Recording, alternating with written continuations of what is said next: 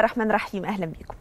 في شوية عباقرة كده مش معروف أسمائهم إيه دول طلعوا كلام وأمثال في تراثنا المصري. الحقيقة إنه كلام يصلح لكل العصور وبيتنقل من جيل لجيل عبر الزمن. يعني لما يقول لك فلان ده بيعمل من الحبة قبة. يا نهار أبيض على التشبيه جبار. ومين فينا يعني ما استهيفش في أوقات كتير وصغر عقله وعمل من الحبة قبة؟ مين فينا ما جربش المقولة اللي بتقول يجي عند الهايفه ويتصدر. مين فينا ما عداش عليه خناقات في بيته ويعني ولعت من مستصغر الشرر. تقول لك إيه أنا ما أعرفش إيه اللي حصل. ده إحنا كنا كويسين جدا. مش فاكرة قلنا إيه خلانا نمسك في بعض المسكة دي. يعني تيجي تدور على بداية الخناقة فتلاقي إنه من كتر هيافتها أنت مش فاكرها. ويقول لك إيه كلمة في الثانية مسكوا في بعض. الله يعني كل ده بسبب كلمة تافهة؟ أيوه. الله يعني هو رمى اليمين عليها بسبب التفاهة دي؟ أي نعم. مش بيجي بعد كده يقول لك لا ده أنا ما أقدرش أستغنى عنها لا هي ولا الولاد دي قلبي وحياتي. مش بتسمعوها تقول بس أنا مش عاوزة أتطلق ده أنا بحبه. الله أمال كنت بتطلبي الطلاق ليه يا حبيبتي؟ أهو شيطان بقى أهو ساعة شيطان بقى ودماغي قفلت بقى ساعتها. الله يعني ما فيش ما يستدعي إنكم تسيبوا بعض؟ لا ده ما فيش ما فيش حاجة خالص ده هو ابن حلال. ويقول لك وهي برضو والله بنت حلال وكويسة. الله أمال أنتوا بتشحططوا أبونا وراكم عشان شوية هيافة؟ طب ابقوا لموا الدور من الأول طالما الموضوع عبيط كده. فتسمع حاضر وطيب وآخر مرة ومش هنكررها تاني. وبعدين عند أول كلمة هايفة بعد كده يتصدروا لها برضه. والحقيقة إن دول ناس تعرفهم في قاموس الكلام الحكم اللي إحنا خدناه من أجدادنا إن هم ناس غاويين نكد. يعني بيدور على النكد والغم بملقاط. يبقى ما فيش حاجة خالص والحياة ماشية بأمان وسلام وتلاقيه يمسك في أي حاجة ينكد بيها على البيت وخلاص. يعني أنت كده هديت اتبطيت ارتحت أما البيت ولع هديتي اتبسطتي فشيتي أما نخورتي في حاجة عادية خالص وخليتيها مش عادية وما تمرش مرور الكرام. والحقيقة بس عشان ما بقاش أنا عمالة بنظر وبقول أنا لقيت نفسي بعمل كده مع اولادي بمسك لهم في الهايفه وأقعد أزعق فيها وبعد ما الزعيق يخلص أقعد بقى يعني وفطست خلاص من كتر الزعيق أقعد أقول لنفسي يعني هديتي اتبطيتي اتبسطتي أما زعقتي لاولادك وصوتك راح على حاجة هايفة وتافهة. فالحقيقة قررت أحط لنفسي معاهم قواعد قلت لهم طب أنا هطلب منكم الطلب ثلاث مرات بهدوء. والرابعة هقول لكم طب أنا هزعق على فكرة. المرة الخامسة بقى اوعى الطوفان. يعني ما حدش بقى يقف في سكتي. اللي بيحصل انه أنا لما بشوف الحاجة اللي ما بتعجبنيش بدخل شمال على طول والطوفان بيبقى من أول مرة. وده بيتعبني قبل ما بيتعب ولادي. فقلت لهم طيب أنا لو بدأت يعني بالزعيق من أول مرة أنتوا هتعاقبوني. فاختاروا عقاب ليا. فعجبتهم اللعبه قوي الحقيقة وقعدوا يقولوا حاجات كتير وغالبا هيقلبوني رسمي لأنه أنا ست سريعة الانفعال. بس الحقيقة إنه ملهاش حل تاني. لازم نحاول طول ما إحنا عايشين خلاص ما إحنا عايشين في الدنيا ولابسينها لابسينها فاحنا لازم نقعد نصلح في نفسنا. ما ينفعش نسيب روحنا كده نفضل نمسك في بعض ونتخانق على الفاضية والمليانة لأنه هيجرى لنا حاجة. الشاهد إننا لازم نحط قواعد لحياتنا. اتفقوا مع بعض بقى على الحاجات الهايفة اللي إيه بتنكدوا على روحكم بسببها. شوفوا صيغة اكتبوها. سموا الهيافات اللي أنتوا بتتخانقوا عليها دي واكتبوها في لستة. وحاولوا تتجنبوها أو حطوا على نفسكم التزامات. يعني لو عملت الحاجة الهايفة دي أو اتخانقت عليها عليك ليه يعني عليها واحد اعمل عليها حاجة. حطوا على نفسكم التزامات وعود عقاب يتنفذ. في حالة يعني لو حد مسك في الهايفة وتصدر واتخانق عليها. والله ما تستهونوش بالكلام ده ولا تقولوا إيه الهيافة بقى دي كمان. هنقعد نكتب إيه الهيافات اللي إحنا بنتخانق عليها. طب والله العظيم لما بنكتب يعني لما تيجي تكتب عيوبك كده قدام نفسك وتعترف بيها أعتقد إنه ده هيبقى أول الطريق للتخلص منها بس أنتوا قولوا يا رب. سؤال الحلقة النهارده. اعصروا لي دماغكم كده. مش مش محتاجين تعصروا دماغكم قوي لأن هتلاقوا هتلاقوا الحقيقة خناقات كتيرة قوي حصلت بينكم بسبب حاجات تافهة قوي. لو لقيتوا اتصلوا بيا واحكوها لي. أو ابعتوا لي مستنية مشاركاتكم معانا على في الحلقة على جروب الدين والحياة مع دعاء فاروق. وفضيلة الشيخ أحمد تركي هيرد على سؤالنا. طيب إزاي نتخلص من التفاهات والصغائر في الحياة الزوجية أو الحياة عامة وما نكبرهاش لدرجة الخناق ولدرجة المقاطعة ولدرجة إنه الحياة تبقى يعني سواد بعيد عنكم وعن السامعين؟ بعد فاصل قصير.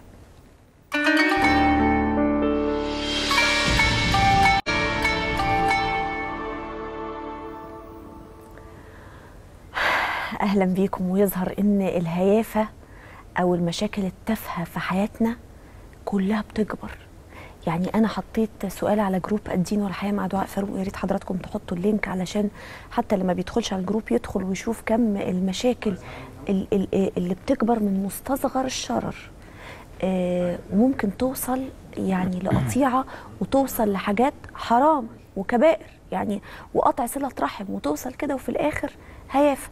فضيلة الشيخ أحمد تركي موضوع إنه إحنا ما نعديش لبعض ونقف لبعض على الواحده ونعمل من الحبة قبه ده الشرع بيبص له إزاي والدين الإسلامي بينظر للموضوع ده إزاي؟ نعم.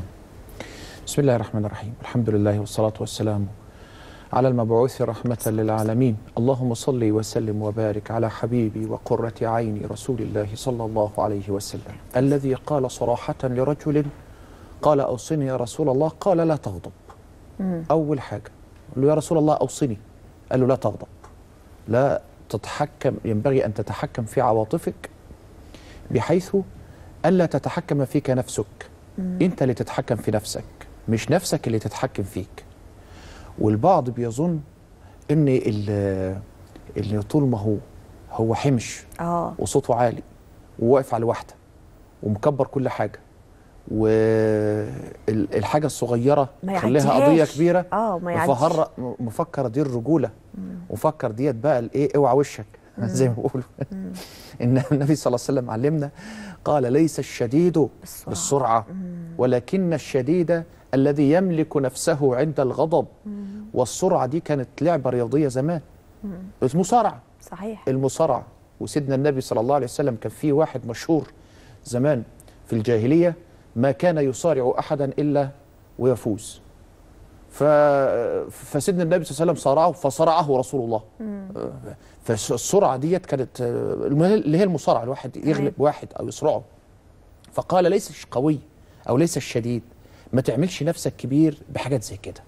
إنما الكبير إن أنت تتسم بالحلم وبالأناة وبالصبر وبالتواضع وبالقوة وتتحكم في نفسك تتحكم في عواطفك إذا غضبت لا تخطئ. هي دي هي دي القوة الحقيقية اللي سيدنا النبي صلى الله عليه وسلم علمها لنا عندما قال ليس الشديد بالسرعة ولكن الشديد الذي يملك نفسه عند عند الغضب. والعلماء بيعلمونا طب إن معظم يملك نفسه عند الغضب دي يملكها إزاي؟ بيملكها إزاي؟ بوسائل كتير. الوسيلة الأولانية سيدنا النبي صلى الله عليه وسلم علمنا. قال عندما وجد رجلين آه، بيشتموا بعض يتشاتمان. وواحد منهم عروقه كده هتنفجر من الدم ووشه أحمر. فقال إني أعلم كلمة لو قالها هذا لسكت عنه غضبه. فقال فقالوا يا رسول الله ما هي؟ قال يقول أعوذ بالله من الشيطان الرجيم. هم بيقولوا إن هم 20 ثانية بالظبط اللي ترتكب كل الجرائم أثناء الغضب. آه. بيحصل فيها الطلاق وبيخبطها وبيضربها. وممكن تحصل حالة قتل. الذروة لما بيوصلوا للذروة آه هو ال- 20 ثانية بس. العنق الزجاجة دي مدتها 20 ثانية. تلت دقيقة. التلت دقيقة ديت لو مرت على خير بنبدأ نستعيد قوتنا وعقلنا وحكمتنا مرة تانية. فانت عبل ما تقول أعوذ بالله من الشيطان الرجيم عدى خمس ثواني؟ ثم قال النبي صلى الله عليه وسلم إذا غضب أحدكم إذا كان قائما فليجلس. إن سكت عنه الغضب وإلا فليرقد. يغير وضعية جسمه. أدي خمس ثواني عبل ما يقعد أدي خمسة تانيين أو عشرة تانيين عبل ما يجلس أو ينام أدي كده العشرين ثانية عدوا وبالتالي هنا بترجع له حكمته وعقله مرة تانية. وفي سيدنا النبي صلى الله عليه وسلم علمنا أيضا قال إن الغضب من الشيطان الشيطان من النار. والشيطان من النار. والماء تطفئ النار. فإذا غضب أحدكم فليتوضأ. يعني يقوم بس يتوضأ كده أو يترك المكان الوقت ده. شتمنا وضربنا بعض أو حصل أي مشكلة بنسيب المكان ونروح آه، مكان آخر. نتفكر إن مصدر قوتنا هو الله سبحانه وتعالى. الأمر المهم بقى اللي سيدنا النبي علمه لنا في الناس اللي عندهم مبالغة شديدة آه إن هو لا يجوز بأي حال من الأحوال إن الإنسان ينتقم لنفسه. انتقام للنفس ده ده من الشيطان. سيدة عائشة رضي الله عنها وأرضاها عندما تحدثت عن أخلاق الحبيب المصطفى صلى الله عليه وسلم. والسلام. قالت ما غضب رسول الله صلى الله عليه وسلم لنفسه وما انتقم لنفسه قط إلا أن تنتهك حرمة الله. فإذا ما انتهكت حرمة الله فيقوم ينتقم لنفسه على طول. فمسألة كرامتي وجعتني. لا ده أنا هنتصر ده أنا لازم هنتصر عليك كده كده لازم أغلبك في أغلبك في الكلام لازم أنت ترضخ ليا كل هذه من الجاهلية ومن الشيطان ولا يجوز بأي حال من الأحوال. المهم بقى في الموضوع ده إن ما الناس اللي زي دول النمط ده دايما حاطط نظارة التشاؤم والسوء نظارة سوداء على عينيه. شايف كل الدنيا سواد بالتالي بيكبر الإيه؟ بيكبر الموضوع. بيخلي من سيدنا إبراهيم عليه السلام راح يزور سيدنا إسماعيل بعد عمر طويل وتزوج من جرهم من قبيلة جرهم. فقابل امرأته هو كان يحترف الصيد. غير موجود. ما حالكم؟ قالت بشر حال. بشر. حال. بشر حال. ده لسه أول كلمة أول مرة. ما شافتش راجل قبل؟ كده. لا ما آه. ما تعرفش. آه. ده واحد بيسألها. لا وهو, وهو مشي من عندها وهي لا تدرك. إن ده حماها ولا إن هو والد سيدنا إسماعيل عليهما السلام. فما حالكم؟ ما طعامكم؟ قال بش قالت بشر حال فأدرك. سيدنا إبراهيم عليه السلام مش دي الزوجة المثالية؟ نكدية. انك دي الزوجة النكدية. الزوجة النكدية. فقال أقرئيه مني السلام وقولي له غير عتبة بابك. فهي لو تعرف إن ده سيدنا إبراهيم ولو تعرف معنى غير عتبة بابك ما كانتش قالت. طلقها. آه فلا قال لسيدنا إسماعيل قال جاءنا رجل ب ب بوجه شر وبكذا وبكذا وأخذ تشتم فيه وت وتعيب عليه لأن هي نظارتها سودة. هي العدسة بتاعت عينيها أصلا سودة شايفة الدنيا كل كلها سواد. فقال إن هذا أبي وأمرني أن أطلقك فالحقي بأهلك. فهنا بقى بنتعلم إيه؟ إن إحنا لابد أن ننظر يكون عندنا أمل داخلي وأن ننظر إلى أطيب ما في الدنيا وليس اعسر وليس أشد ما في الدنيا. أنا أذكر مرة آه كنت مسافر وأنا طالب في الأزهر. كنت مسافر وبعدين فجأة كان في ظروف معينة ون- ونزلنا في ونزلت في مكان الساعة 3 صباحا مفيش مواصلات خالص. وعلى طريق المفروض ما يكونش فيه مواصلات. وبعدين لقيت واحد كده واقف فبقول له فبقول له بقول لك إيه، هو المواصلات ما بتجيش دلوقتي؟ قال لي مواصلات يا عم الشيخ. مواصلات إيه؟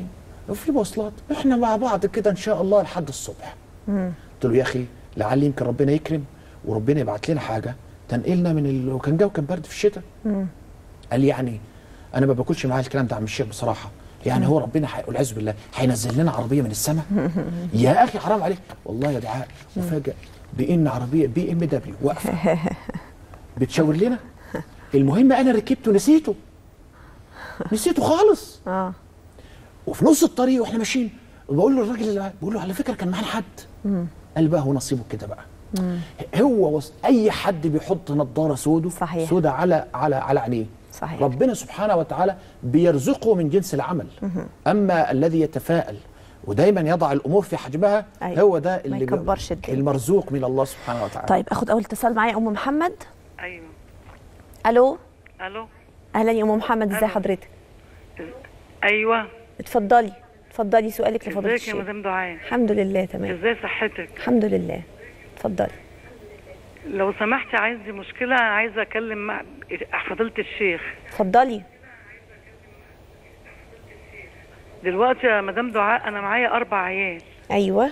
معايا ثلاث ثلاث بنات وولد. تمام. ها. البت الصغيرة جوزها اتخطف السنة اللي فاتت وعرفنا إن هو بريء و... وعنده مكتب وأخوه وصاحبه عملوا فيه ال- الموضوع دوت. خطفوه؟ المقلب دوت آه. وخدوا ال- المكتب والأوراق وباعوا العربيات وعرفنا العربيات اللي اتباعت من الشارع. آه. العربيات عرفنا إن هي اتحجزت في المرور يعني مش حرامي. تمام. الموظف اللي عنده ضرب تليفونات للناس اللي هو يعرفها وقال لهم ده خد فلوسكم وطفش عشان هو حرامي. هم. طيب. عشان هو حرامي.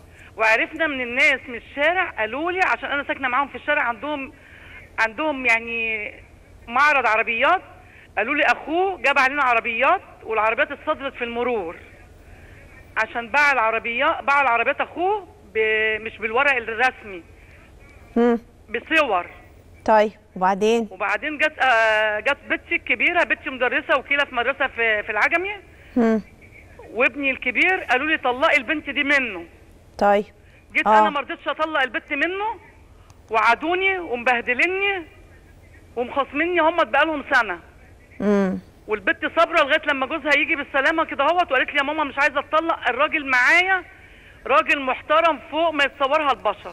يعني هو هو عيلته اللي نصابين ولا الناس اللي بيشتغلوا معاهم اللي نصبوا عليه إحنا عرفناهم.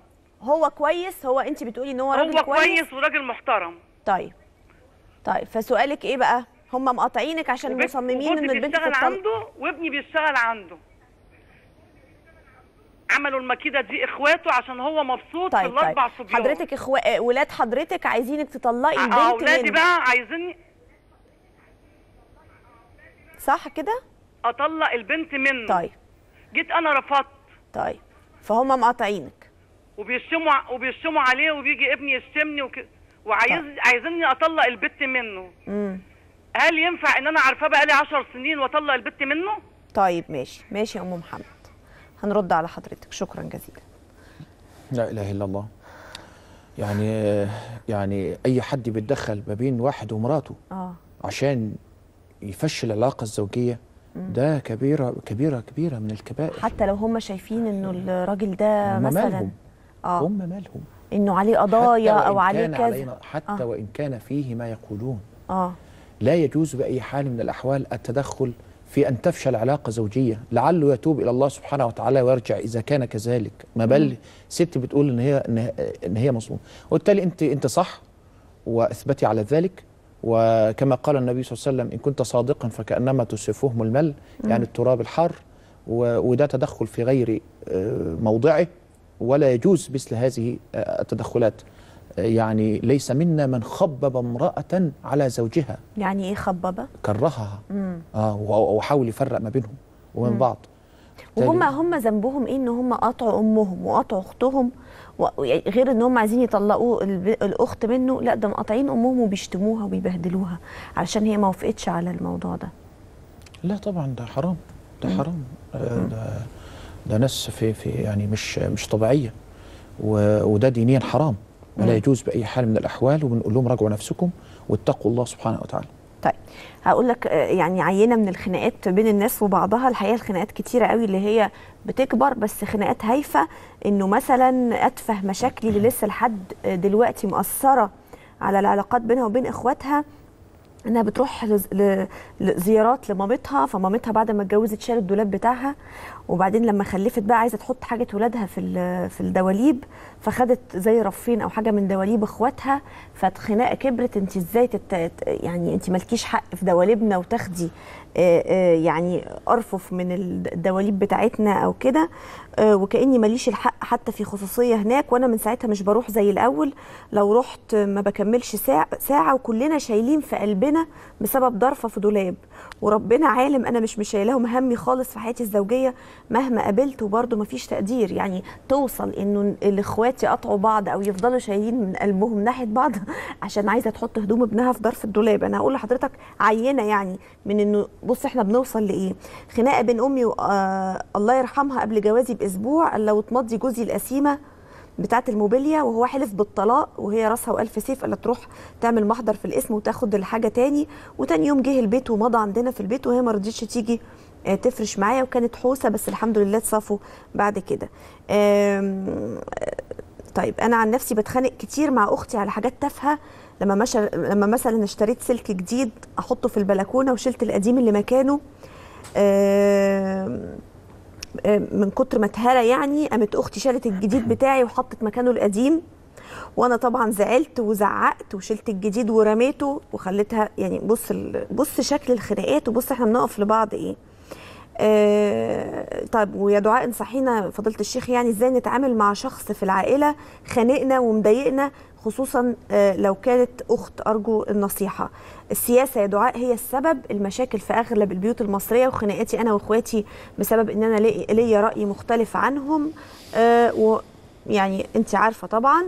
أنا مرة اتخانقت مع جوزي خناقة كبيرة جدا بسبب حماتي مع إن الموضوع كان تافه جدا ووصل للطلاق وكانت أول طلقة في حياتي بعد أول شهر ونص جواز. بس كل ما في الموضوع إن كانت جوايا تراكمات ما بتطلعش. صدفت بقى إن التراكمات دي طلعت في أتفه حاجة حصلت بيني وبين آه، جوزي. آه، خناقة مستمرة دايما بين الحين والآخر بيني وبين جوزي لأنه مش بيهتم ببنته ودايما هو وهي بيتخانقوا مع بعض زي الديك والفرخة مع إن بنته عندها عشر سنين وأنا مش بتحمل المنظر ده فبتجنن. آه، مرة اتخانقت أنا وجوزي أول آه، في أول جوازنا خناقة كبيرة قوي وسبت البيت عشان كنت رايحة الكلية حاطة روج. يعني الخناقة دي كانت تخلص بمنديل ورق بمنديل ورق كانت تخلص بس يعني سابت البيت. فدي مثلا نماذج. أنا طبعا هحكي بعد كده نماذج الخناقات بس حضرتك رأيك إيه؟ إنه الإخوات حتى بيتخانقوا مع بعض على على ضرفه على سلك على وده بيحصل.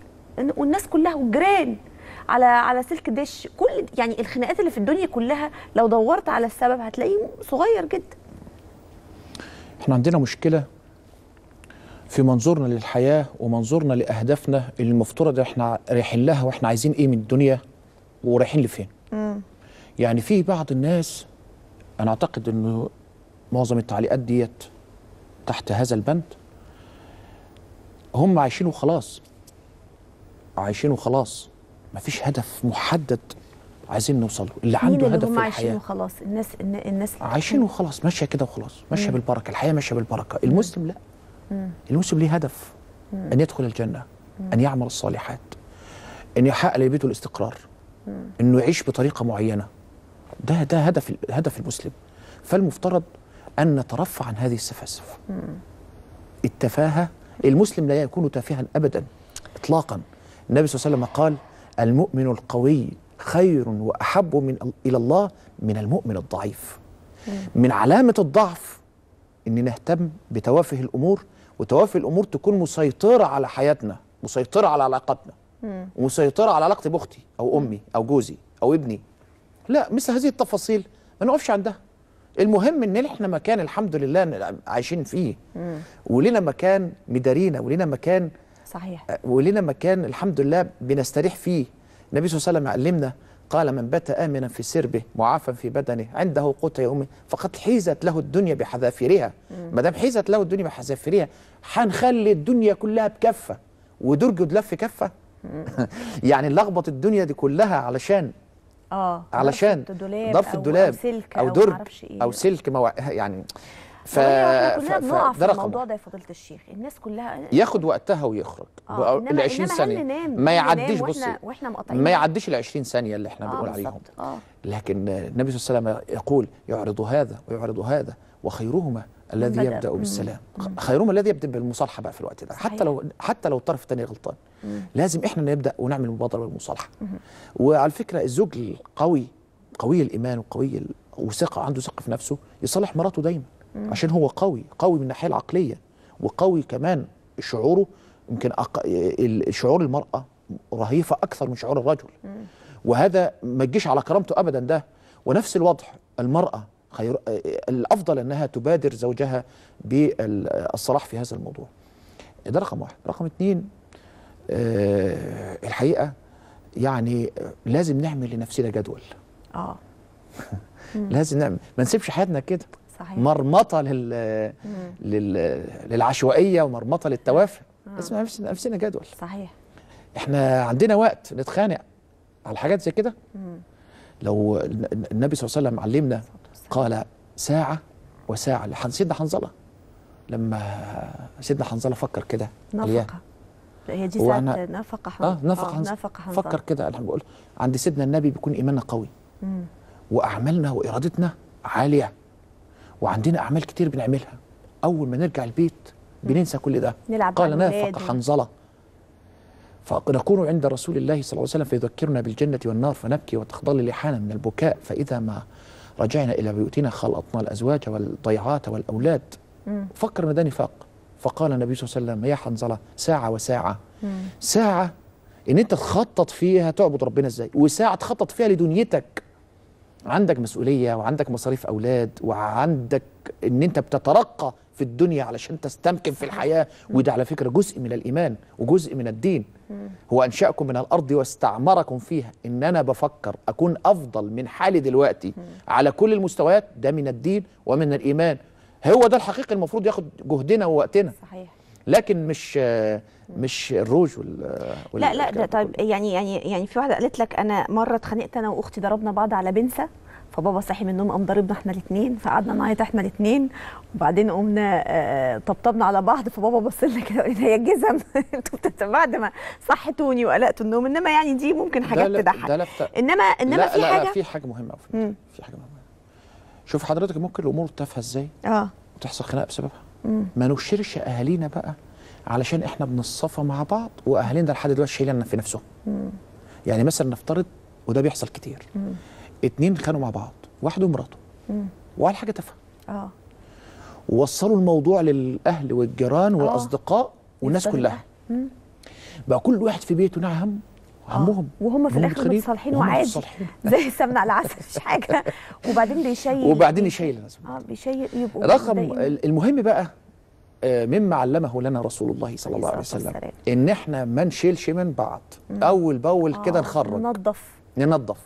لأنه عندما يعني بنجد في أنفسنا نجد في أنفسنا ده من حد بنزعل وتراكم الزعل على الزعل على الحزن على الحزن فبيحصل هناك انفجار. هذا الانفجار ربما يكون ظاهره سبب بسيط جدا لكن نتيجة زعل كبير. لا إحنا نعاتب ونسامح صحيح. ونتسامح ونضحك ونصالح كل ده علشان نطرد كل الإشارات السلبية والشعور السلبي من الايه من النفس. طيب، أنا عندي- وفاكرة لو اتكلم- لما اتكلمنا قلنا في الصالحات وقانتات معنى قانتات يعني إيه؟ يعني ليس في النفس شيء. يعني ال- المرأة القانتة تمام. التي تحب زوجها وتفعل ما ت- ما يريد الزوج ولكن عن حب وليس في آه، في في في, في النفس أي أحقاد. أو في القلب أي شيء. طيب أنا عندي الحقيقة قصتين آه، آه، هم شايفينها إنها هايفة بس أنا مش شايفاها هايفة. يعني أنا اتخانقت خناقة جامدة لأني كلمت ابن عمتي على الفيسبوك واتخاصمنا أسبوع آه، وجوزي مرة رمى عليا يمين الطلاق في التليفون عشان رحت بيت عند بنت خالتي وكان آه، يوم خطوبتها. والحقيقة إنه الحاجتين دول يعني في شعرة بين الهيافة. لا الهيافة يعني أعتقد إن دي مش هيافة. وأعتقد إنه لما تكلمي مثلا ابن خالتك وجوزك آه، أو ابن عمتك على الفيسبوك وجوزك حاجة بتضايقه بتهيألي إن ده مش سبب هايف أنا عايزة أسمع رد حضرتك في النقطتين دول بس برضو أخد مدام نادية لأن هي معانا على التليفون بقالها فترة. السلام عليكم. عليكم السلام ورحمة ازيك يا الله مدام دعاء؟ أهلا وسهلا. بحبك ازي حضرتك؟ الله الله يخليك الله يخليك. بقول لحضرتك آه، أنا ست على المعاش ومريضة ويعني القرشين اللي طلعوا لهم المعاش حطيتهم في في وديعة. وباخد الأرباح بتاعتهم كل ثلاث شهور بسدد بيهم قسط شقه وبجيب علاجي وكده. تمام. فانا مش عارفة أطلع الزكاه بتاعهم إزاي. الوديعة عدت النصاب؟ آه. آه، 130 130 ألف. فمش عارفة يعني أطلع زكاهم إزاي. أنا باخد الأرباح بتاعتهم كل ثلاث شهور. مم. و... وأنا بجيب منهم أدوية وبسدد قسط شقه وكده وهل يجوز هل يجوز على الزوج الزكاه يعني هو ملوش دخل غير المعاش بتاعه بس. هل يجوز ياخد من الزكاه بتاع الزوجه طيب ماشي. وشكرا يا ستي جزاك الله خير. شكرا ناديه ليها زكاة آه، 130 ألف جنيه وديعة حطاهم بتاخد تاخد كل ثلاث شهور فلوس تجيب. أدوية ت- ت- ت- تعمل تحاليل ما أعرفش إيه. هل عليهم زكاة؟ طبعاً. تطلع الزكاة ما. تطلعش الزكاة. طبعا. آه، بلغ النصاب ومر عليه كامل عام كامل هجري يبقى اذا وجب فيه آه، الزكاة. تمام. وجبت فيه الزكاة. مم. آه، طيب الزكاة هنا هتطلعهم من أصل المبلغ ولا, ولا من, من الأرباح؟ الأرباح؟ أيوة. سيان مفيش مشكلة تطلعهم من زي ما تطلعهم. لو طلعتهم من الأرباح تطلع قد إيه؟ أو يعني هو هو مبلغ في الآخر 130 دول عليهم 2.5% يعني آه يعني 13000 في حساب نصهم تاني. سبعة نصهم 3 ونص. 3 ونص في السنة. ثلاثة ونص في السنة آه. آه أيوة، ما هو 130 ال- ما هو ال ال- آه، ال 100000 عليه 200 آه، 2500 جنيه. آه. ودول 130 ألف آه قال عليهم تقريباً. 3000 ونص في السنة. 3000 هل ال 3000 ونص في السنة دول ممكن تطلعهم نسريات بحيث ممكن يبقى 3 ونص في وقت معين من السنة ممكن يبقوا يمثلوا لها هيدك أو يعني لود عليها؟ آه، هل ممكن تطلعهم نسريات كل آه، شهر؟ ممكن تطلعهم نسريات لصالح المريض. تعرف فقرة معينة تطلع لهم كل شهر مثلا مرتب ولا حاجة. آه. مفيش ادنى مشكلة في ده. وممكن تحسب الزكاه بطريقة تانية طريقه العشر. قياسا على زكاة الزروع والثمار. تمام. لأن أصل زكاة الورق اللي هي البنكنوت هو بنقيس زكاة البنكنوت على ز... على حاجتين. بعض العلماء قالوا على الذهب والفضة. لأن سيدنا النبي صلى الله عليه وسلم تكلم عن زكاة الذهب والفضة. ففي في قياس. فعلى الذهب والفضة ال- ال- يبقى اذا زكاة الذهب 2.5% لكل 20 مثقال. آه على كل 20 مثقال زكاه كما على النبي علمنا النبي صلى الله عليه وسلم ربع العشر يبقى 2.5% اللي هو الحساب اللي إحنا بنتكلم عنه النهارده. إما أو بنقيس زكاة البنك نوت أو الورق على الزروع والثمار. زكاة الزروع والثمار مش كل الحول بتاعها هي الزراعة أيوه. الثمر. لما الأرض بتطلع الثمر وبنحصد ففيما سقط السماء العشر وفيما سقي بالنطح آه، نصف العشر يعني إذا كان هناك تكاليف يبقى نصف العشر. إذا كان ما بن ما فيش تكاليف على الزراعة يبقى العشر كامل فبناخد العشر من الريع. يعني هي ممكن تعمل إيه دلوقتي؟ ها. تاخد عشر الفايدة اللي بتطلع على السنة كلها اللي بتاخدها كل كل ثلاث شهور. يعني مثلا بتاخد كل ثلاث شهور 1000 جنيه. يبقى في السنة ولتكن مثلا بتاخد فوائد على المبلغ ده آه، نفترض مثلا تاخد آه، 10000 جنيه يبقى ناخد عشرهم 10 ل 10 عشر. مجموع الفوائد خلال السنة طيب آه وده جائز وده هل جائز جوزها. هل جوزها يجوز عليه الزكاة؟ آه طبعا إذا كان فقيرا ومحتاجا آه هي تديله من. فلوسها آه آه وينفق عليها لشراء الاحتياجات مش شراء الترفيهيات يعني تمام. مثلا ما, يروحش مثلا يجيب لها آه تورتاية. لا مش مقصود التورته عشان بس إنما ما يروحش مثلا يجيب لها عربية من فلوس الزكاة. ما يجيبلهاش مثلا آه آه أي حاجة فوق الاحتياج. آه ده ما آه ينفعش. لا يعني الزوج يجوز عليه الزكاة. إيه؟ إذا كان فقيرا. يعني إيه فقيرا فق- يعني إيه؟ فقيرا يعني يعني دخله ما البيت. آه.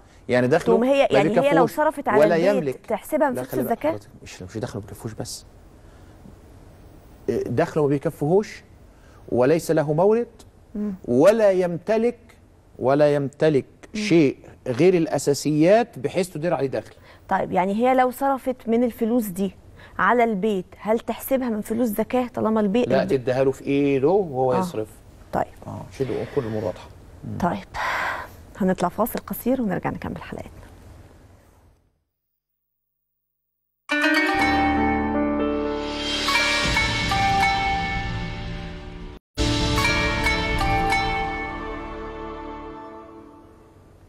أهلا بيكم مشاهدينا مرة تانية. إحنا عايزين نحدد يعني إيه الحاجة الهايفة.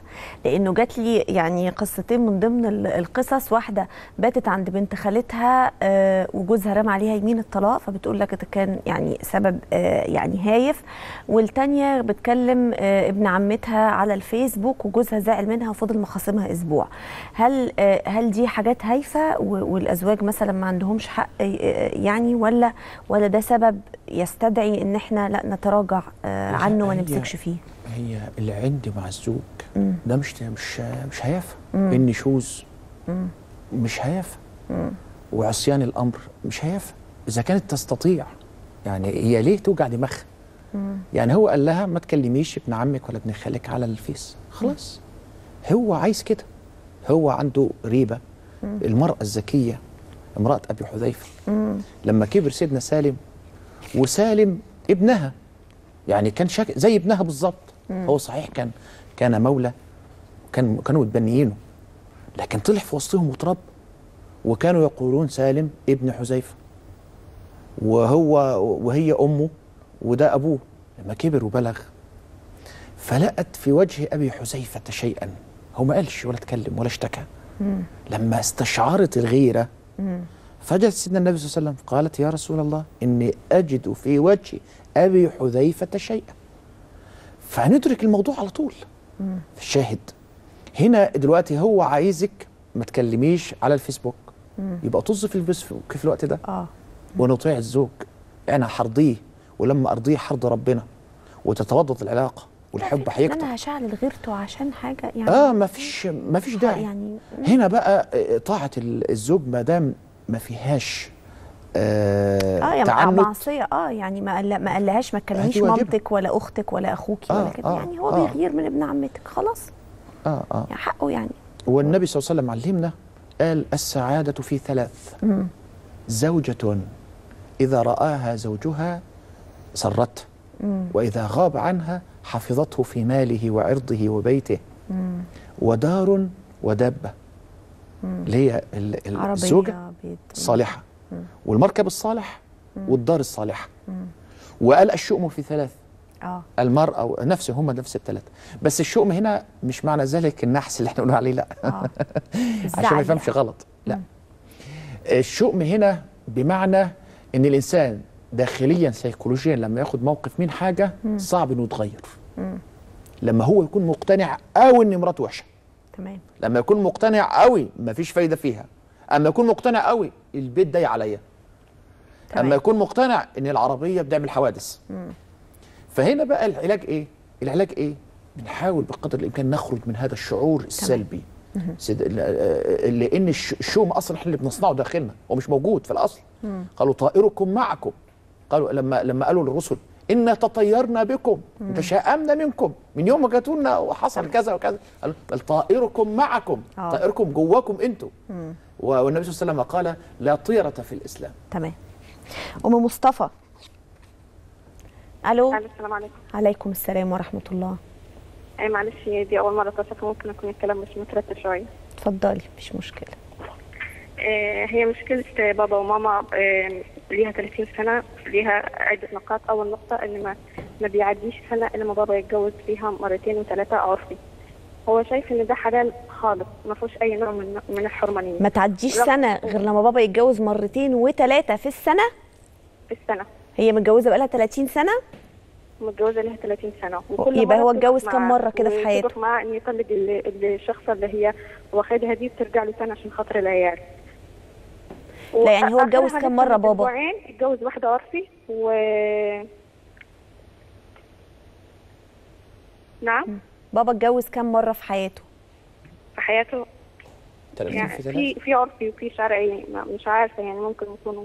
ما تعديش. وخلف منهم ولا ما خلفش؟ لا هو ما بيكملش شهرين بالكثير وبيطلقهم. وبيقول لكم إن ده حقه؟ وبيقول آه ده حقي وده مش حرام. آخ آخرها من أسبوعين إن اتجوز واحدة آه، آه، أهلها ما رضيوش خدها من ورا أهلها واتجوزها. هي ده طبعا حلال بتكون. كبيرة في الخمسينات أو الأربعينات وكده. آه. وبعد كده ماما جابت عمامها وأول مرة تدخل حد وإنها عايزة ترفع عليه خلع أو عشان هو مش راضي يطلقها. آه. وبعد كده راح قال آخر مرة وأول مرة وبعد كده بعد ما مشوا الناس ثاني يوم برضك آه، رجع تاني. طب ليه ما تسيبنيش على راحتي؟ آه، ليه؟ آه، ان ده حلالي ومش عارفة مش مقت- رغم إن قالوا لي إن ده زنا زنا ان إن أهلها مش راضيين وكده لكن مقتنع تماما إنه مش بيعمل أي حاجة حرام غير إنه ساعات بيضربها ضرب مبرح يعني ضرب ممكن أنا بخاف كتير ان مامتك؟ في البيت بيضرب مامتك؟ على إيده آه رغم كده أمي مستحملة عشان العيال. وكده يعني وتاني حاجة المصاريف هي عشان شغالة بيقول لها لازم تحطي معايا في كل حاجة في البيت رغم إنها والله بتصرف وهي اللي بتجهزنا يعني هي لو جهزتني أنا لو هو بيصرف 50 على الستات اللي بيجوزهم دي هو ما خمسة- يس... 5000 منهم. هو ميسور الحال؟ لا اللي اللي يعني اللي جاي على يعني مصاريف البيت وكده. هيكفي مين ولا مين هو مين؟ طب أنا بوكل وبشرب وبدفع نور ومية والكلام ده. آه، مش فاهم إن ده عادي ده الطبيعي لا لازم تحط معاه رغم إنها بتصرف بس هي ممكن مرتبها مش بيقضي عشان بتجوزنا إحنا كو... كبنات وكأولاد وبتساعدنا تعمل وكده. جمعيات وبتجهزكم وكده. آه آه آه آه. بس. فيا ريت الشيخ يفهموا إن عادة النقاد إن الضرب لا وانها ممكن ترفع خلع ولا لا. وان وان الجواز ده حلال ولا حرام وي- ويقنعوا بجد بس يا ريت بعد دقيقتين أكون اتصلت بيه. طيب بعد دقيقتين إحنا هنستنى. أكون اتصلت طيب- بابا يعني طيب- عشان الحلقة طيب. قولي لي هو هو بابا متد يعني بيصلي وكده؟ بيصلي ما بيسيبش فرض. امم هو بيقول لك إنه ده طب الحقيقة قولي له علشان إحنا خلاص فاضل لنا دقيقة على الحلقة وفضيله الشيخ هيرد عليك. وهو بيقول إن ده حلال وبلاله يتجوز مرتين وثلاثه في السنة والجوازة تقعد شهرين أسبوعين على حسب التساهيل. وإن هو يعني بيمتع نفسه ما حدش له عنده حاجة طالما بيعمل إيه؟ حلال ربنا. هل ده حلال ربنا؟ لا هو الزواج شرطه آه، آه، الدوام. آه. شرطه إن أنا فعلا عايز أبني بيت عش زوجية. ومن اياته أن خلق لكم من أنفسكم ازواجا. لتسكنوا إليها. وجعل بينكم مودة ورحمة. إن في ذلك لآيات لقوم يتفكرون. فالزواج اللي بنيه الطلاق وبنية المتعة المؤقتة ده حرام. لا يجوز بأي حال من الأحوال.